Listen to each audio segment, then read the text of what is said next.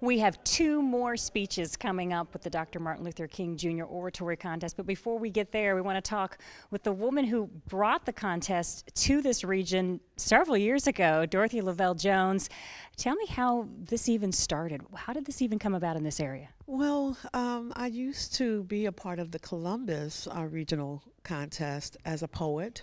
And each year they needed me to do something else. And so I went from a coordinator, uh, started as a poet, and then coordinator, and then a judge at the regional, a judge at the state level. And then I went to school in, at Gonzaga University and got my master's, and a part of that was to do research. And um, I wanted to do some research on something that I thought would be uh, we had to do it on what's probable, something that is feasible, something that could happen. And I asked my instructor, my professor, I said, uh, can I do it on, on the Dr. Martin Luther King Oratorical Contest in my region? and it didn't really fit the bill but she says let me see your ideas and we'll see if it, if we can do it and so i showed her what my plan was and she said absolutely and from that from that um, experience the oratorical came about. And my twin sister daphne brown she said we should do it. And she's the one who has the she's the brainchild. So she always say you know come up with ideas about different things but she doesn't move on things. And that's where i come in. We're twins. So i moved on what her ideas were. And in 2009 we had an oratorical the first one uh, and then we've been moving ever since. So well, we have already seen two good speakers, young individuals who have stepped up here in our studio and spoken very well, shared their thoughts. Uh, this obviously is more than just giving a speech. What do these kids do to prepare?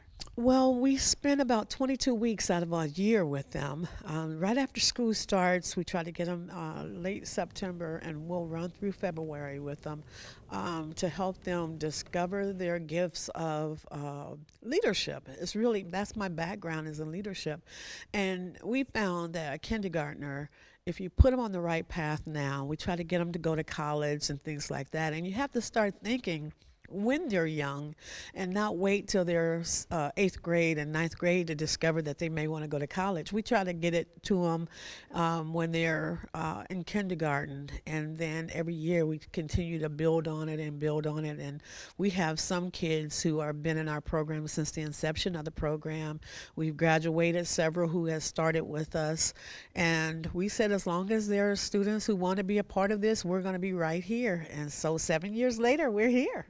So, is it just the oratory contest, or do you offer more to these kids? Well, we offer more. We offer a tutoring program as well. So we have the mentoring, and then we have the tutoring, and and we um, we're there at the Bradfield Center on um, Fridays. We were on Tuesdays, but it, it it works best for us on Fridays. So we're tutoring the kids now. So if anybody asks what's next for the kids after the contest, after the regional uh, what's next is tutoring for any student in our program who need tutoring. And our goal is to, you know, you talk about outcomes. People want to see outcomes. And the outcomes that we're looking at is how well are they doing academically? Because that's another component of Dr. Martin Luther King.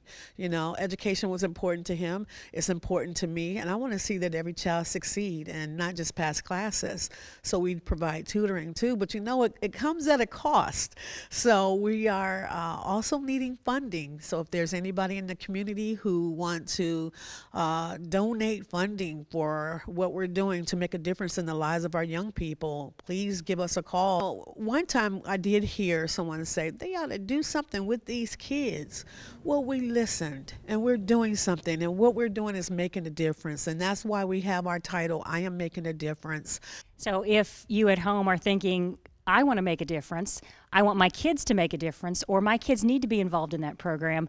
What is the phone number or the website where they can go to find out more information? The best way to reach us is I can give my phone number um, is 614 537 2888. However, that's long distance for some folks. Um, our website is I am making a difference Inc. I N C org. All right, Dorothy, thank you so much. Of course, if, if for some reason you can't contact her or find that, just give us a call here at the TV station, ask for me, and I will make sure that I get you connected with Dorothy. Well, as we promised, we have two more speeches coming up very soon in our show, so stay with us. But coming up next, we want to tell you about another youth oriented event that is taking place in just a few weeks. Dancy is with Buck and Tyler Sutton to talk more about Converge 2015. Dancy?